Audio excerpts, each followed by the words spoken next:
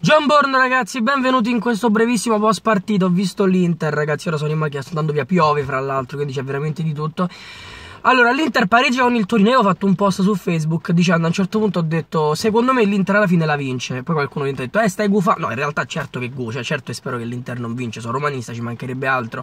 Però non era una gufata, era proprio una convinzione. Perché credevo che l'Inter alla fine dei conti avrebbe portato a casa il risultato. Perché poi l'ho, si è svegliato, l'ho vista vivo, ho detto: Ora glielo fa. Ora glielo fa. L'Inter comunque è molto rognosa. Cioè, il gol alla fine lo fa. E così mi immaginavo. Infatti, difatti, la traversa dei Vesino ancora trema. Cioè, l'incrocio dei pali dei Vesino ancora trema.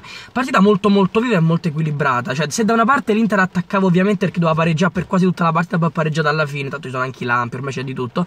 Se l'Inter attaccava il Torino, comunque in contropiede era tagliente al 100%. Quindi, insomma, è stata veramente una bella partita. Finisce 1-1, ragazzi. Io vorrei farvi una cosa molto importante. Ribadisco, tanto poi mi dicono: Ma lo dici in tutti i video? Sì, lo dico in tutti i video. Due Spalletti lo odio se sta a fa buio. Però, ragazzi, ha due palle grosse praticamente come la sua pelata. Ogni palla è una delle. Un, una, ogni palla è la sua pelata. Cioè, ha due pelate come al posto dei testicoli. Perché eh, invece di mettere un giocatore che magari molti fanno equilibrato, teniamo equilibrato, teniamo equilibrato a sti cazzi, ha tolto Gagliardini, ha messo Eder, ha tolto Nakatomo, ha messo Brozovic, così si fa, così si fa. Stai perdendo, dai il tutto per tutto, è inutile, perdi 1-0, perdi 2-0, perdi 6-0, non cambia niente. Complimenti a un Culu e complimenti al Torino, fanno una, un Culu fa una partita della Madonna, così come il Torino.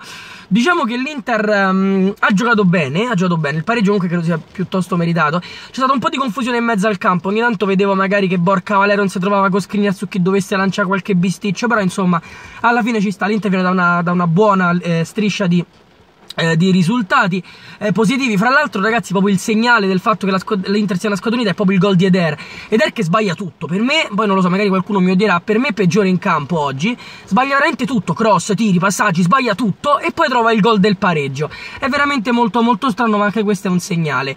Vesino prende un incrocio dei pali molto, molto, eh, molto, molto bello, ragazzi. Ha fatto un bel tiro. Incrocio dei pali, veramente sta ancora a trema. Sono contento perché l'Inter viene frenata. Però diciamo che comunque, nonostante il tiro si meritava il pareggio pareggio faccio i complimenti all'Inter perché quest'anno sarà un dito in culo per tutto l'anno. Fatemi sapere con un commento qui sotto e cosa ne pensate come sempre, raga, stacco perché sta cominciando a piovere fortissimo. Vi ringrazio per la visione, Boscia la lalle come sempre, ci vediamo ad un prossimo video.